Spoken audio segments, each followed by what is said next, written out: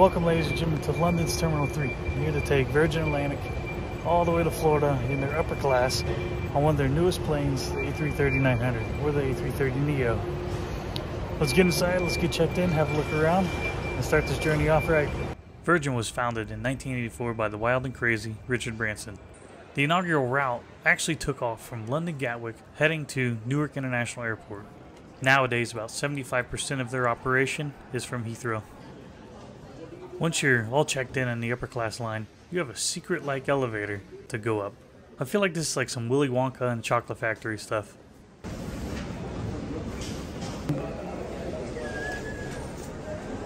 Once upstairs, you immediately see your private security. No dealing with the long lines. After a private security for first class passengers, you're through. Your usual walk through duty free, you into the main terminal. At check-in, it said go to Lounge H. So that's where we are headed. And I swear, Homeland Security hates me right now. This is the second trip back into the States that I had the four S's. Extra security when you board. This particular clubhouse at Heathrow only allows airline status and Virgin Upper Class inside. Once inside, you're greeted with a lot of open space, a bar, grab and go, but I'm gonna head over to the restaurant because I want some breakfast. After being scanned in, take a walk through the lounge, check it out, find your seat. For now, I'm gonna sit at the table and eat, and then get cozy. But first, order some champagne. Cheers to you. This dining area was kind of small, but you can order food and drinks from any part of the lounge, and you do so by scanning one of these. I opted for an amazing Eggs Benedict, more champagne, and a cappuccino. So the Virgin Clubhouse has a thing called the Garden. Let's go check it out.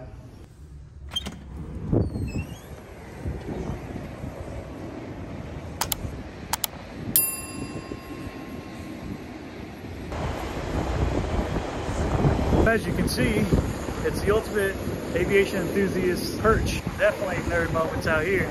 You watch the planes take off, taxi, pull into the gate, and I came out just in time to see my plane get towed in. Virgin likes to honor notable women in history, and they named this plane after iconic American jazz singer Billie Holiday. In March of 2023, at the time its newest A330 Neo, they named it the Queen of the Skies, after Queen Elizabeth II.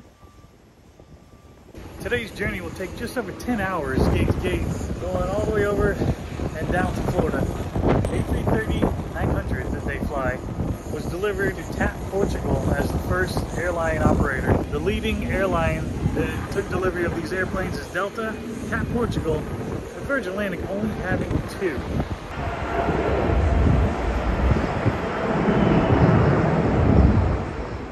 I still have about 45 minutes. We're gonna head back inside, have a little more champagne or another drink, and then it's time to board eventually.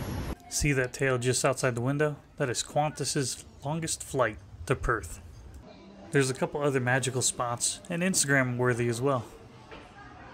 Lastly, in this lounge is a mock up of Virgin Voyages, an adult only cruise.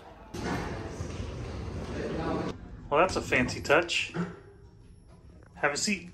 That lounge was pretty awesome. I gotta admit though, when I flew British Airways' first class and having the American Airlines first class dining, that's the true winner right now. I need to get to the gate to get my stuff searched, then I can board. Fun fact, did you know Richard Branson won the call economy class riffraff? As in the British lower class? It's probably a good thing he was outvoted. That took all but two minutes. I'm surprised.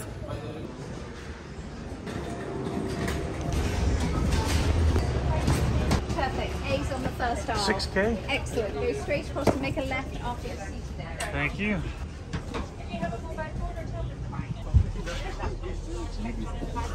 Put away in your bag. Protect it. Kick on. Let's start with a new trend. Check out the lav beforehand. Nice and clean, fairly spacious, dark colors. Not something I'm used to on an airplane.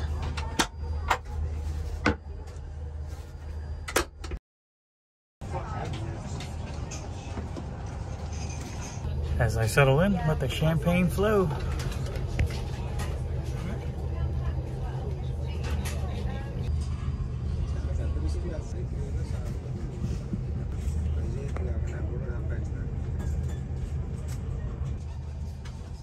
Unlike in a previous video, I videoed the menu.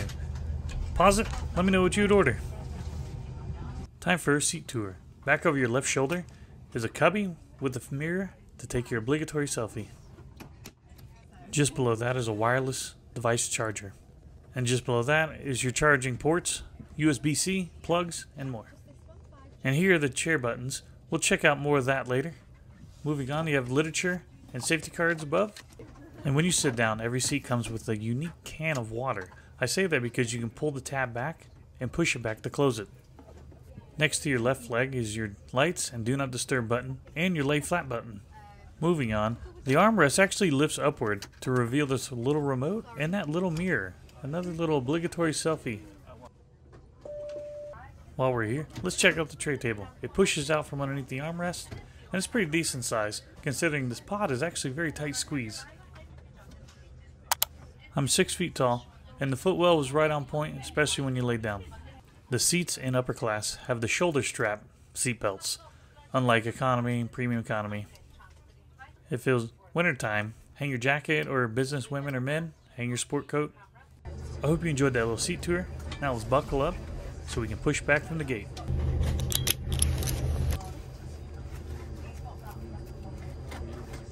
I almost forgot, you get two air vents above you. I know that's a big thing for travelers. Thank you for flying with us today. Please check your safety card before departure.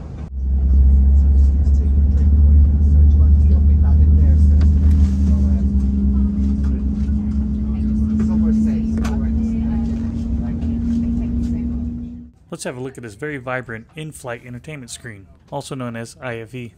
It was very responsive, one of the better ones I've ever had. Lots of selections to choose from, and as you saw, there was a kids section. I always tip my hat to my fellow ramp workers around the world. Let's talk about the 787. I hear the layout for upper class is terrible. I haven't been on it yet, but I hear there's the least amount of privacy compared to the other airplanes.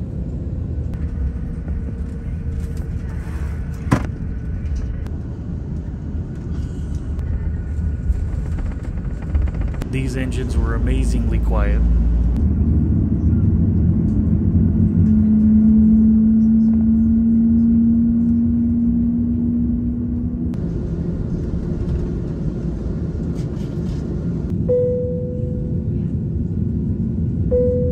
Tighten those seatbelts and turn up the volume. Here comes takeoff. And a very impressive view of Heathrow and all its terminals.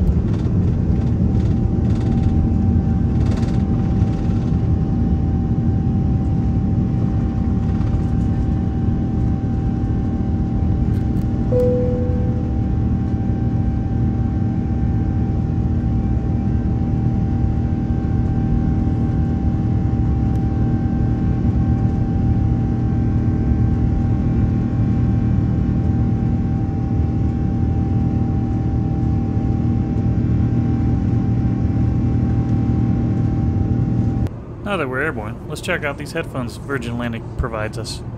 Let's get plugged in. They were decent. They were no British Airways though. Let's open this amenity kit and see what they offer you. Most of the time your amenity kits have just about the same amount of things. It's all about the branding though.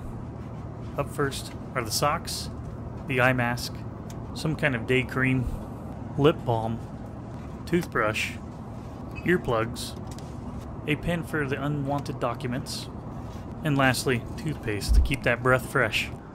Keep in mind that Virgin Atlantic is more of a business class vibe, with a sprinkle of first class touches. Now let's take a look at the Wi Fi. It definitely wasn't free.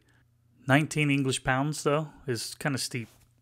But as I like to say, everyone has their price tag.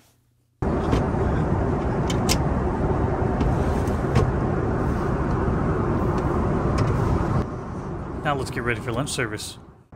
First things first, they come around and set out a placemat for everyone. Then the most adorable salt and pepper shakers. And yes, you can take those home.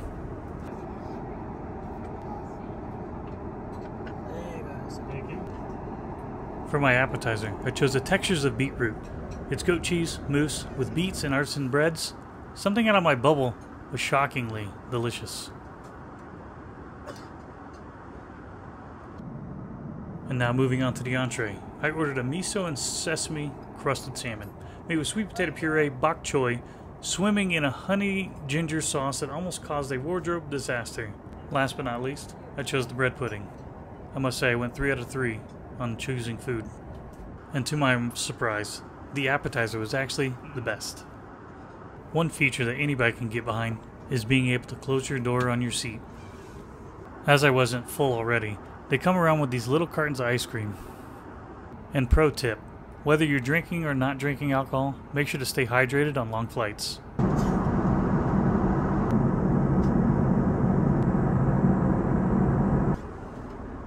After relaxing for a bit, I decided to open my door, head out, and go check out the social space called the Loft. The Loft is only available to customers flying upper class and on the A330 and A350 aircrafts. This lounge in the sky is perfect to gather, chat, stretch out with a coffee, or even a beer. And that's exactly what I did. I grabbed this Brooklyn Pilsner. Very light and refreshing. There were a handful of plugs and USB A and C if you need to get some work done or charge anything. When I returned to my seat, I saw that my bed was made, so I decided to snuggle up, see how my feet fit, and take a nap. It was definitely comfortable, I'm a side sleeper, so it worked out well. But if you sleep on your back, it's a snug, snug fit. Good night, see you in a few.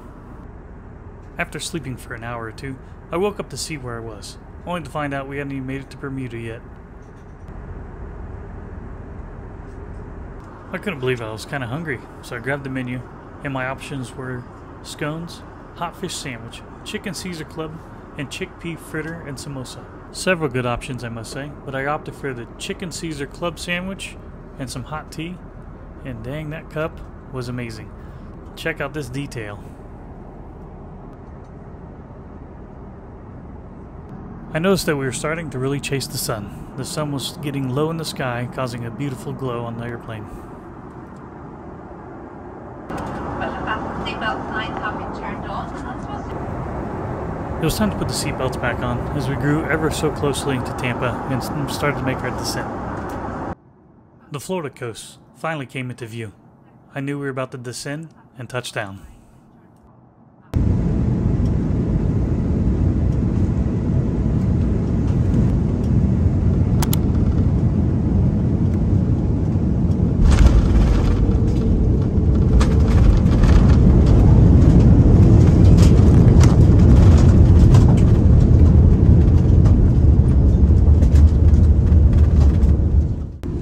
Well, a very good evening and welcome to Tampa. The local time is just coming up to 30, 6.30 p.m. Well, whilst we taxi to the terminal building, please keep your seatbelt fastened until the captain has turned off the fasten seatbelt signs once we arrive at the gate.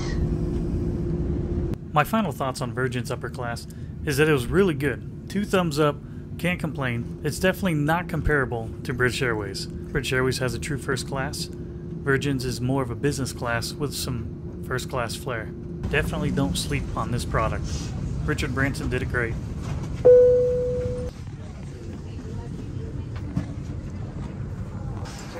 Thank you. Take care. Take care, take care. See you soon. Yes. Thanks very much. Bye-bye. If you made it this far, thank you. If you enjoyed it, hit that like button. Hope you enjoyed the journey. Virgin, you were wonderful to me. See you in the next adventure. And if you're not already, subscribe. Consider it. See you in the next one. Good night.